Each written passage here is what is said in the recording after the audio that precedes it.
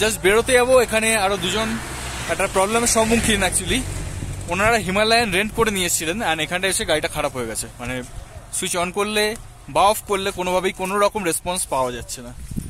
তা আপনারা কোথায় যাবেন? দাদা মঙ্গন যাব। মাঙ্গান। ঠিক আছে। আমরা তো লাচুং অব্দি যাচ্ছি তো লাচুং অব্দি আমরা একসাথে বেরিয়ে যাব। তারপর ওনাদের হয়তো গাড়ি করতে হবে। আজকে আমরা যাব লাচিং ওখান থেকে।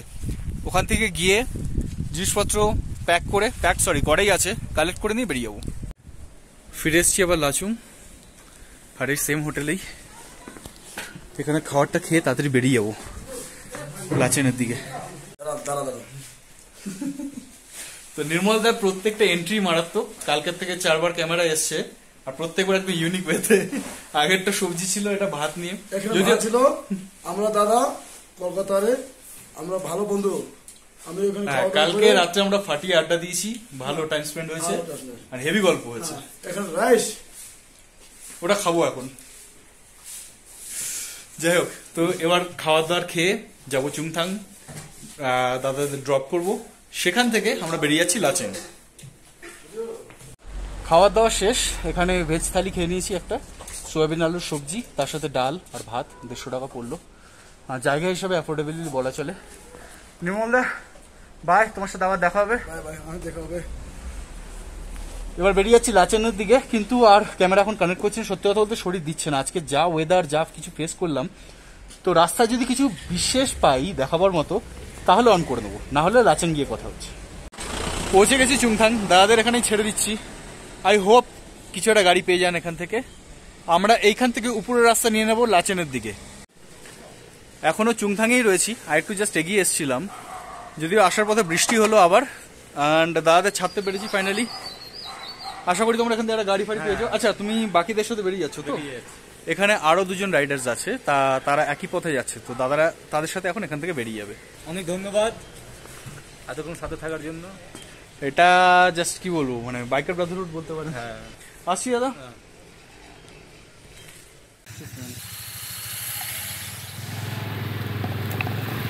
ধরে নিয়েছি, এটা লাচেনের রাস্তা। এবার আমি আমি বললাম ঠিক হবে না, আমরা। সামনে যে বাইকটা দেখতে পাচ্ছেন, এদের সাথে পরিচয় হয়ে গেল। আচ্ছা তার আগে ব্রিজটা দেখে নিই। দিস ইজ তিস্তা ব্রিজ অসাধারণ ভিউ তিস্তার বেশ স্রোত এই সময় আর, সেই উডান আওয়াজ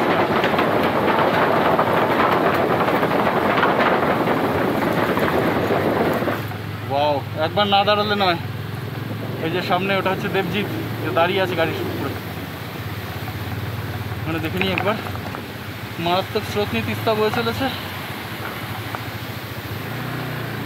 হ্যাঁ তো ব্যাপারটা হচ্ছে, এখানে আসার আগে এদের সাথে আলাপ হলো দেবজিৎ, আর তার সাথে রয়েছে সৌম্য। তো ওদের সাথে দেখা হলো আমাদের ইয়াংথাম ভ্যালিতে। আর তার সাথে আরেকজনের সাথে দেখা হলো ওনার নামটা আমি ভুলে গেলাম। এখন তো ওখানে একই জায়গায় পৌঁছাবো আমরা। ওখানে পৌঁছে যখন আড্ডা দেবো, তখন আর ভালোভাবে পরিচয় করাবো। আপাতত লাচেনের দিকে যাচ্ছি আর রাস্তাটা অসাধারণ। ডান দিক দিয়ে বয়ে চলেছে তিস্তা নদী। কিছুক্ষণ ওদের সাথে কথা বলছিলাম। আমি জিজ্ঞেস করছিলাম যে, তোরা আর ফাইভ নিয়ে চুপটা করিস কী করে? দুজনে আমার থেকে বয়স অনেক ছোটো, তাই তুই করে কথা বলেছি। একজন ক্লাস টুয়েলভ দিয়েছে, আরেকজন ওর থেকে একটু বড়। ভাবা যায়, এত দূরে এসছে, এতগুলো ট্যুর করছে আর ওয়ান ফাইভে সেই পিট বেন্ড করে সামনে বসা আর পিছনেও যে বসে আছে সিট তো বলতে গেলে প্রায় নেই। জানি না কীভাবে ম্যানেজ করছে। এখানেও পাহাড়গুলো একদম পুরো দৈত্যের মতো। খুব খাড়াই। এখন অবধি খারাপ রাস্তা পাইনি, আর বলতে না বলতে হালকা খারাপ রাস্তা শুরু হলো। তো লাস্ট যখন দেখলাম লাচেন দেখাল পঁচিশ কিলোমিটার। প্রেমচু ব্রিজ। পাশ দিয়ে বয়ে যাচ্ছে নদী।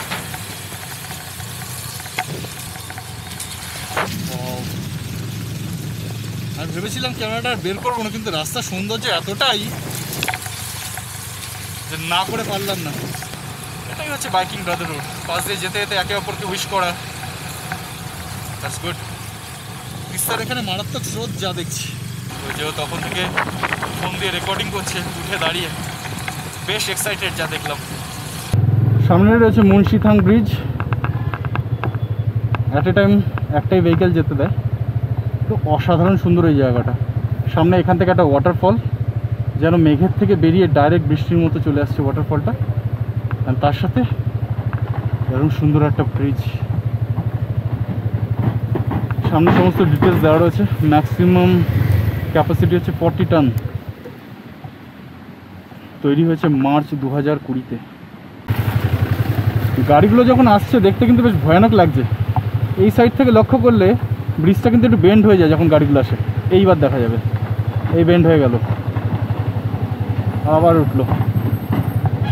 গো আমরা যাই এবার।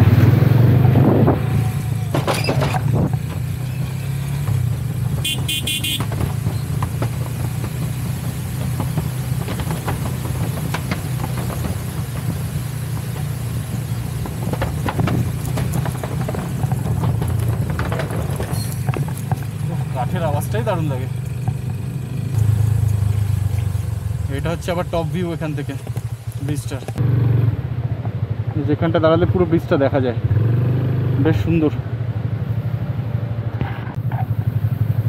এখানে আরেকবার একটু দাঁড়াতে বাধ্য হলাম এই ওয়াটারফলটার জন্য। যেটা দূর থেকে তখন দেখতে পাচ্ছিলাম। ওই উপরের চূড়া থেকে পুরো নেমে আসছে, যেন মনে হচ্ছে মেঘের থেকে ডাইরেক্ট নেমে আসছে। অসাধারণ সুন্দর। সিকিমের প্রত্যেক মোড়েই এত সৌন্দর্য। ভাবার বাইরে। এদিক থেকে খরস্রোতা তিস্তাকে দেখে অসাধারণ লাগছে। আর তার সাথে সামনে একটা ছোট্ট ওয়াটারফল একটা তো দেখেই এলাম ওটা তো খুবই সুন্দর ছিল। এই ওয়াটারফলটা আবার একদম রাস্তার উপর দিয়ে গেছে। তো খুব সুন্দর একটা ছোট্ট ওয়াটার ক্রসিং দাদা লাচেন ইধারই है না? থ্যাংক ইউ একবার কনফার্ম করে নিলাম, কারণ বৃষ্টির জন্য ন্যাভিগেশনটা লাগাইনি।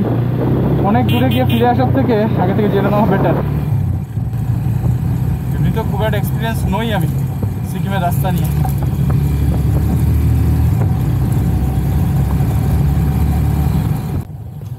সাইডে ফুটে রয়েছে কতগুলো হোয়াইট অর্কিড এই যে, এখানটায়। আসলে পরিবেশটাই এমন যে এখানে এগুলো ন্যাচারাল হেরিটেজ এমনি ফোটে, আর আমাদের ওখানে কত কষ্ট করে লাগিয়ে মেনটেন করেও রাখা যায় না। বা রাখতে পারলেও এত সুন্দর ফুল ফোটে না। সিকিমের ট্রেডমার্ক এই ফ্ল্যাগগুলো রাস্তা এখন অব্দি মাখন।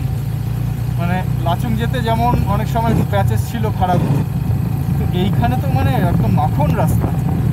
এখন অব্দি কিছু পাইনি। একবার ভাবলাম হাত দিই। তারপর ভাবলাম দরকার নেই। পাহাড়ের ওখানে এখনও হালকা হালকা মেঘ রয়েছে!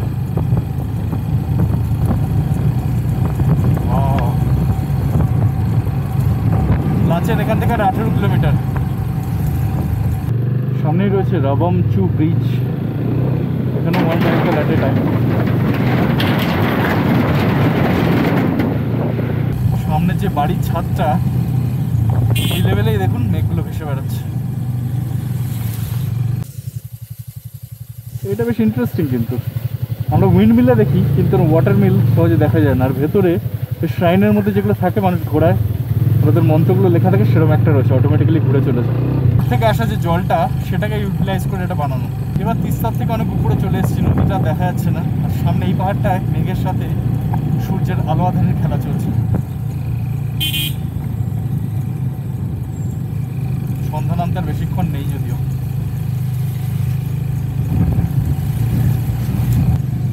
যেরকম সুন্দর সেরকম তার চারপাশের প্রকৃতি তারামচু ব্রিজ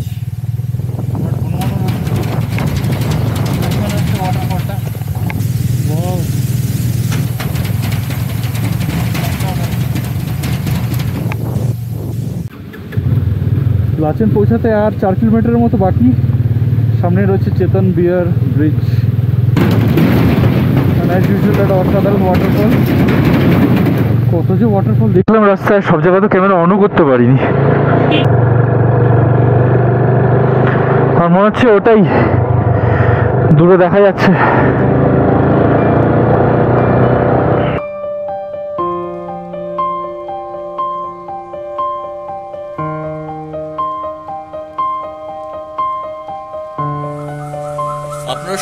ভাবছেন যে একটু আগেই দেখালাম লাচেং পৌঁছাতে চলেছি বাট সাডেনলি কি হলো?